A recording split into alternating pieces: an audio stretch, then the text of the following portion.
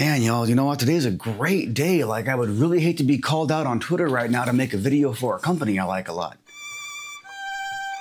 And just like that, they did it. Well, okay, here we go. So you want to add a border to your webcam, but have no experience with either GIMP, Photoshop, whatever it might be. Well, luckily in Meld Studio, you can actually do that directly within the software without any need for third-party help. Here's how you can do that. All right, folks, so I have a blank scene here for my camera. What I'm gonna do is I'm gonna hit the little plus sign up here on the layers button. I'm gonna say video device, and then this little box here will pop up, okay? I'm gonna go ahead and select from the dropdown my webcam inside of NVIDIA Broadcast to give me that nice blurry background, but whatever camera device you wanna use, go and select that there, okay? So camera NVIDIA Broadcast. Now, as you can see, it popped up right here. And thanks to my settings, it gave me that nice blurry background. So I'm gonna go ahead and make this a little bit bigger for you guys and gals so you all can see it better here, okay? So to get that nice border effect, I'm gonna go ahead and hit the plus sign down here in effects. Then I'm going to say glow styles. Now, it already gave me a nice bold white border, but we can customize that here, okay? I'm gonna go down here, hit the little options menu here for the glow styles. I'm gonna give it my signature style here. I'm gonna make it that nice purple color everybody's used to seeing on my, my streams, like a bluey purple here, so right there. But it looks nice, but I think it's a little bit too thick. It's a little bit too in your face, okay? So again, gonna click the little options toggle here, and I'm gonna make the size a little bit smaller, and I'm also gonna take the choke down a little bit as well. How about this? How's that there look? Okay, so that's a little bit too thin. I'm gonna go and go back in here real quick and make it a little bit bigger. Uh, how about this here for size? I'm gonna bold it out a little bit more. And you know what? I think right there, I think that looks pretty good. And just like that, that's how you can do a border here in Meld Studio. But you know what?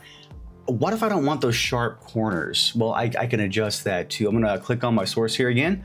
And these little four dots here in the corner, that's how you can round corners in this thing. It's very simple. So I'm gonna take this here, click that and hold it and drag just a little bit and just like that, I have rounded corners. And you know, this here might be enough for somebody. So I'm gonna go ahead and just take this down a little bit like this here. And just like that, you're done. You have your gameplay behind you and you are good to go. But what if you want this to be a portrait style webcam? Like, you know, don't, don't get me wrong, you know, landscape is cool and all, but you can do that directly here in Meld as well. So I'm gonna make this a little bit bigger for you guys and gals to see it here. Now, to crop in sides the way that Meld does it, it's actually very cool. You want to click this little button right down here, and then you'll notice the sides of your, you know, source change here. So this is how you can crop things. Once you click that button, you just drag the sides in where you want them to be cropped at, and just like that, it's cropped. But you could say, well, what if I want to shift the crop? Not a problem. Just click inside of it and you can move it wherever you want and that is where the crop will move to. Then whenever you get done, you can either hit enter or just click on done. And just like that, folks, I'm gonna drag it back to where I would like it, make it a little bit smaller. And just like that, folks, we are good to go. Okay, Meld, so look, I hope you're happy. You called me out. I hope I delivered for you guys and gals.